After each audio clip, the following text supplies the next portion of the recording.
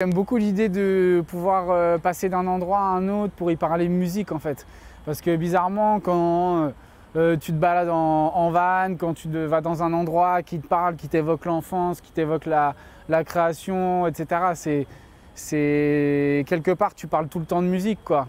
Et dans nos musiques, on parle euh, quand même bien souvent de nous quoi. Et, c'est une partie de moi qui est ici. J'ai écrit mon premier album ici, sûrement le deuxième. Je, suis très attaché à la Bretagne.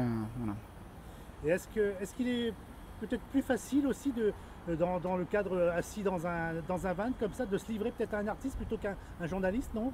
Bah, C'est-à-dire ce qui est cool avec un artiste, c'est qui, surtout un artiste de cette trempe, euh, qui, a beaucoup de succès, etc. Donc euh, c'est quelqu'un, euh, donc il a connu beaucoup de concerts, beaucoup de studios, beaucoup de séances d'enregistrement, beaucoup de, de, tout ce qui fait le ciel de notre métier. Et pour un jeune artiste comme moi, c'est une richesse folle de pouvoir partager ça avec lui, ouais, certain. Avez-vous l'impression qu'il vous comprend peut-être mieux, non Je ne sais pas, ou qu'il comprend bah, quand, vous, quand vous expliquez quelque chose? C'est certain. En fait, il y a une solitude euh, euh, quand on est euh, chanteur, etc. C'est vrai que c'est difficile de se mettre aussi à notre place, quoi. En fait, c'est difficile de se mettre à la place de l'autre, particulièrement quand on fait des métiers un peu spéciaux comme les nôtres.